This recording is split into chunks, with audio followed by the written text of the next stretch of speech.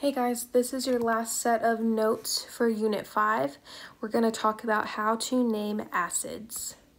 An acid is a compound that has a hydrogen ion at the beginning of the formula, so it'll have an H at the beginning. Since all acids have a hydrogen as a cation, we name acids after the anion, or the negative.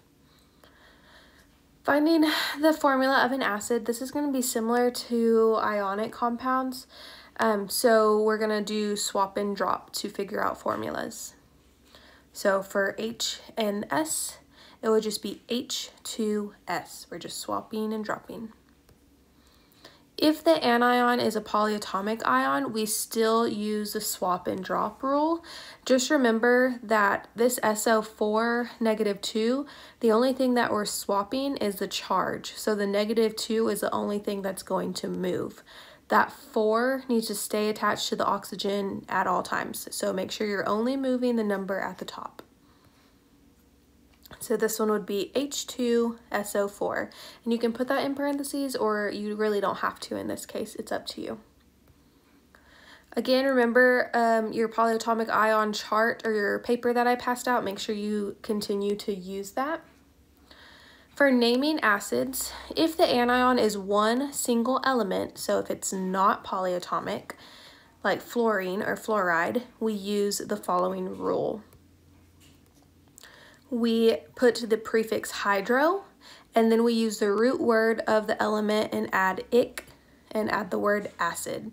So for fluoride, if that's attached to a hydrogen, it would be hydrofluoric acid.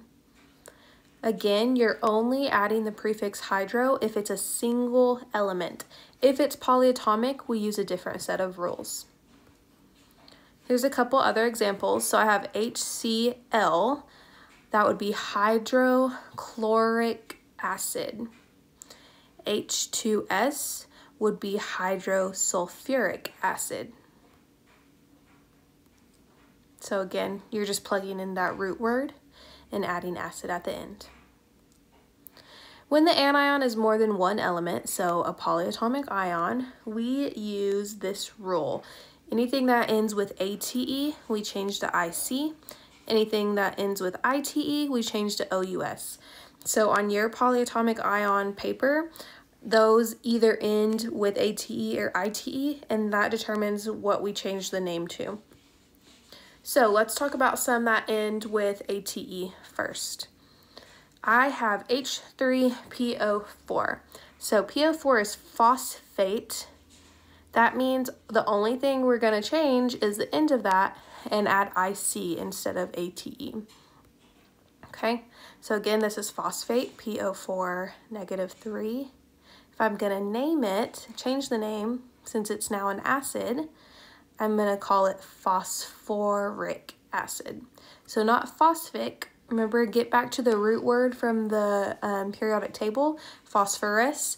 So we're just changing that ending to phosphoric acid. We don't use the prefix hydro in this case because it's a polyatomic ion. We only use that for single elements. Let's do another one. So here I have chromate. I'm just going to change my ending and it would be chromic acid. Okay, again, remember the acids, it's just when there's a hydrogen at the beginning of the compound. Next, we have polyatomic ions that end with ITE. We change those endings to OUS. So here I have sulfite, SO3 minus 2. So sulfite would change to sulfurous acid. Okay, not sulfus, it's going to be sulfurous. And that's one of those things that just takes practice and time to figure that out. Okay, next I have HNO2. NO2 minus 1 on your polyatomic ion list is called nitrite. We're going to change the ending to OUS. So that's nitrous acid.